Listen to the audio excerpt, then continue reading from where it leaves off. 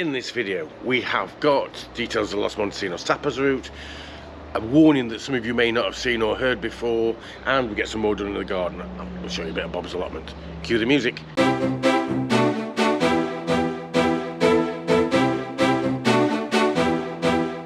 Hi Bob. Hi, Bob. Next time you see me, I won't look like a fat Doc Brown out of Back to the Future.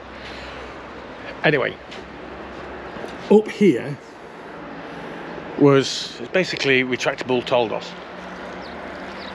Got caught out in summer with a little bit of bad weather overnight, and wind ragged it and broke quite a few of the metal poles that go between. Looking at doing metal poles, and you look at the condition that the Toldos was in, and it's faded, and it probably might last another year, maybe two, before it'll need replacing. So what Helen's done, the idea is we're going to put like a th- thatch roof, so the stuff that you get on the wall doesn't have to be waterproof. Uh, we're going to have a crack at doing that, so I'm going to need to put a support higher up that's parallel with that one there, and we'll show you some bits of how I've done it and everything else as I go along. Uh, Helen's been buying more solar lights, and I've also got those to enclose with some more mesh, all meshed out. Uh, so carrying on from the last time, uh, we've got these mesh. We had these upstairs at the office, so uh, we're going to use those as supports for the ceiling or for the roof on the gazebo, and we'll do a bit of time lapse, and you can see that coming up.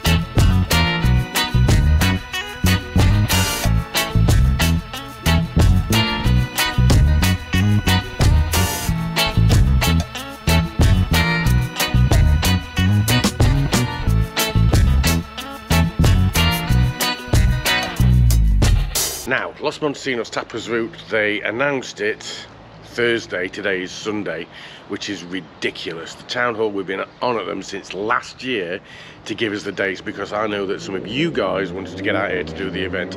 The event is this coming weekend, this Friday, Saturday, and Sunday. Details I'll put here. So Los Montesinos Tapas route, it's Friday, Saturday and Sunday. On the Saturday is when the bus is available for those of you that's in La Herrada and Montesol Villas. 20 different bars and restaurants taking part, 3 euros for a tapa and a drink. And the drink can either be wine, beer or a soft drink, as I understand it. Have a look at the leaflet for details. They're all open at different times. Each one's doing its own individual tapa. Some aren't taking part that took part last year, but there's, obviously there's new ones this year. Uh, I suggest you start on the beer or the soft drink because if you start on the wine, you ain't going to last very long. Trust me. Voice of experience. It's had two rolls. Got them from the Chinese shop near to Carrefour-ish. Two rolls of the. It's like the fencing stuff that you can buy.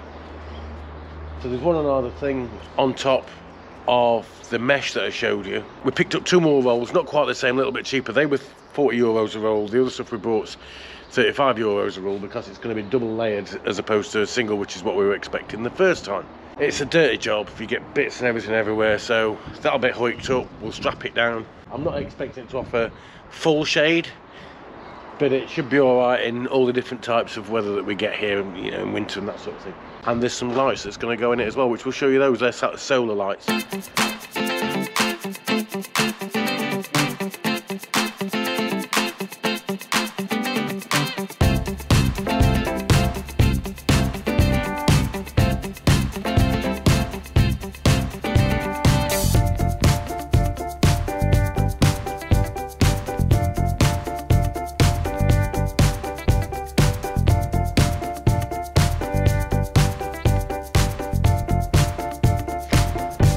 Finished, but getting there.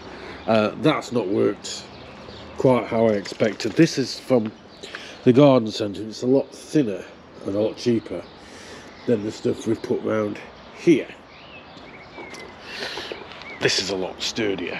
I'll show you what she's done, what Helen's done.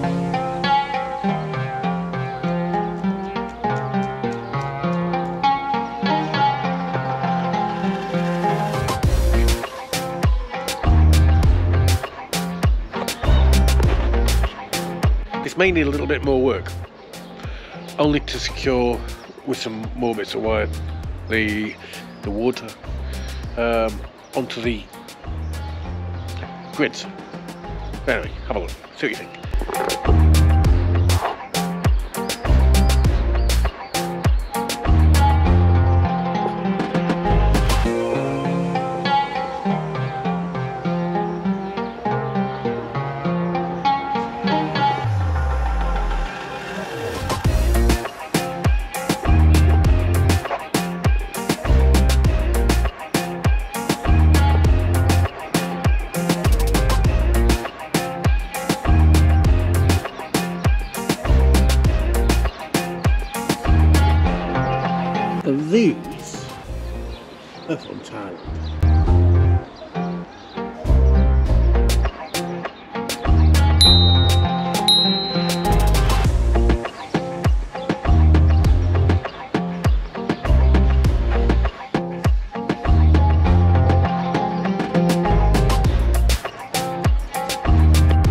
Not sure if I mentioned this. Actually, um, to stop the dogs and everything else, uh, we've picked the clothes dryers, clothes airers up that we used to use for drying clothes outside, and we've now got clotheslines. Trying to find clothes props, unless you're going to order them off of Amazon, for example. But anyway, me being me being me, I make my own. Works fine. And now I'm just going to go and harangue the dogs with it. Now, we are hitting 20, mid 20s very regularly. But it's still a couple of months before we'll get in that. Trust me, when you've been here a few years, you'll all be the same. Enough of this waffle. Let's go and see what Bob's up to.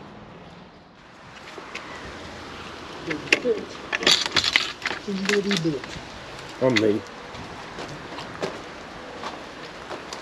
Okay, so let us start. Lettuce. Have you got Let no, let us start with a great big thank you to Sue and Simon.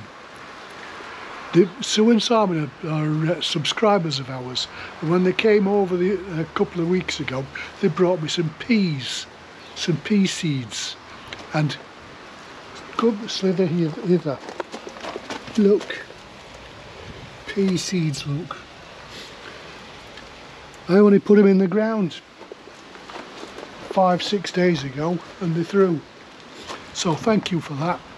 They'll be they'll be lovely. I've cleared out all the uh, the garlics and we'll show you them in a minute. Oh, it's gone to seed. But I'll just keep breaking them off and it keep, they keep coming. And I've transplanted some some more cherry tomatoes.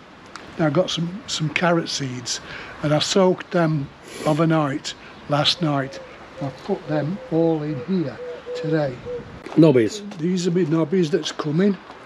There's still something chewing at it though, isn't there? Oh, there, there, there will be. I mean, the, the, they've, they've got uh, uh, slugs in them, and I need to get some slug pellets, but I ain't got none. I'm just uh, so see there's some here, look. These, Sue and Simon, the courgettes, Cool. they're, they've come through as well. These are all cherry tomatoes, And onions. onions. Oh, there's still some beetroot left. Oh yeah, we've still got beetroot. Here we've got my moneymaker tomatoes. I mean, they keep dying off because the, the, the weather's too hot for them. If, if you see, look, they're, they're all, they're all. Uh, but I keep feeding them and they just keep coming and coming and coming. Chives, So the, chives that are running to seed. Look, aren't they pretty flowers? Do beautiful flowers, aren't they? they smell of chives, the flowers? I don't know. They might taste it. taste the chive. Take one off and bite No, I'm not bothered. it. Well, we can eat them. Look. Ah, but you're not eating the flower. I thought you were about eating the flower. Well.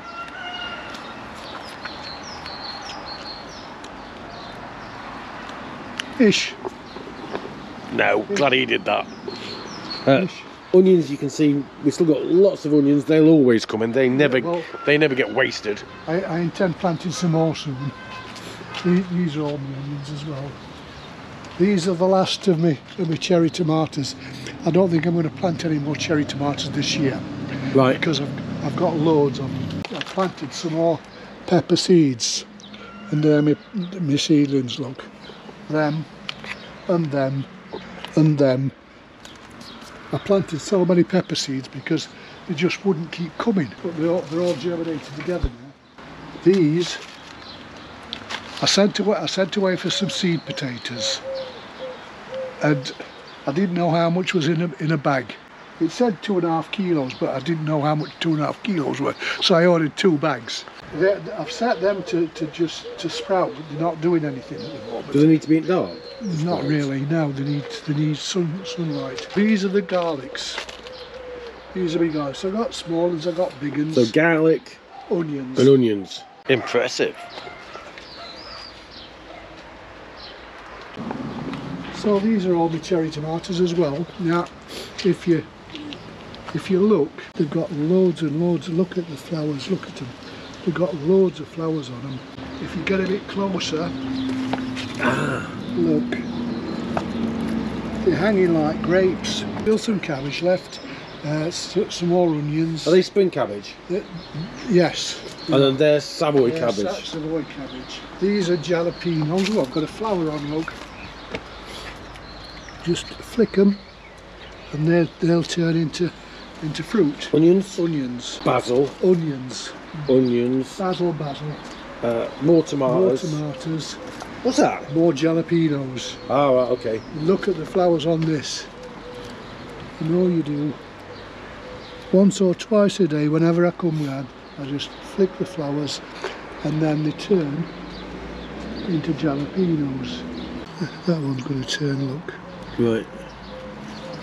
That's a jalapeno. That's cilantro, Oh, it's coriander. coriander. I mean, this is parsley. Right.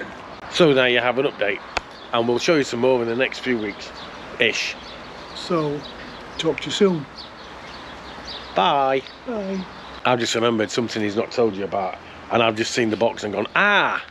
Well, while I was ordering the other day, I saw a, an advert for some mushrooms. Now we love mushrooms, so I ordered some, and they come they come in a box. And now there's a, a specific way you're supposed to do them. There's two two different ones. There's white white mushrooms and brown mushrooms. You get it with with a, a three quarters of the box full of spores and then you're supposed to put the soil over the top. Now it says crumple it, but try crumpling this, it's, it's wet through. But look, you cut, you cover it up and you put it away for two or three weeks, and and then the spores start working their way through the soil, and that's what that is. We will see. There you go. And there's some other news which isn't news. It's been kicking around since about 2018, but some of you guys might not be aware of this. And Helen's going to give you details. So something that you people might not know about, but some of you might know, there's a commonly used painkiller here in Spain called Nolotil, or it's that's its trade name. Its actual name is metamizole, and it's really not safe for Northern Europeans to take this drug. It's actually been linked to the deaths of at least 40 British and Irish people. It's over 40 countries around the world, including England, USA, Australia, Sweden. Seems to be, like I said, Northern European people that have an adverse effect uh, to Nolotil um, doesn't seem to affect Spanish people. And as I said, it is quite widely used here in Spain. You can get it prescribed as a medication that you take but orally, like a tablet, and it's also given as a painkilling injection in health centres and in the hospital. So just be aware, remember the name, write it down, Nolotil, metamizole. if you've got to see the doctor, tell them that you're allergic to it, but don't take that drug because it could, it could, it can cause you to die. So just, just be aware. It has been fatal in other cases. There's actually a group here in Spain at the moment that are lobbying the Spanish government to ban it altogether, but at the moment it's still available. Don't forget, May the 4th, if you're interested, we're having a YouTubers meetup. There's at least a dozen different YouTubers covering from Costa Blanca North all the way down to Costa Calida. So, quite a few of us. If you want to join us, we're going to be at the Oasis San Luis. Check the description. Details are here, but check the description for the Google Map link. Starts at 3 o'clock, May the 4th. Put us a comment if you come in, if you've not told us before already. Uh, we look forward to meeting everybody. And finally, yeah, you know, or some of you will know that we're estate agents here in Spain, legal, qualified, and experienced. We're desperate for houses, okay? If you know properties, all types, all areas that we cover, no sale, no fee. If you know somebody that's looking to sell, please put them in touch. I'll put my details underneath uh, and in the description so that you know how to get in touch with us. It's literally, we are literally selling them as soon as we're taking them on, which is a great position to be in. At the minute, it is a seller's market. And in other news, shock horror. It's bad for English tourists because the sun's out and you're going to get sunburnt. Don't forget like, subscribe and ring that bell. And uh, we'll see you in the next one. Hasta pronto. And don't forget, May the... Barking at a pigeon. For Christ's sake. Which sets the others off. Idiot dog. Love him to bits. He's a I forgot what I was going to say.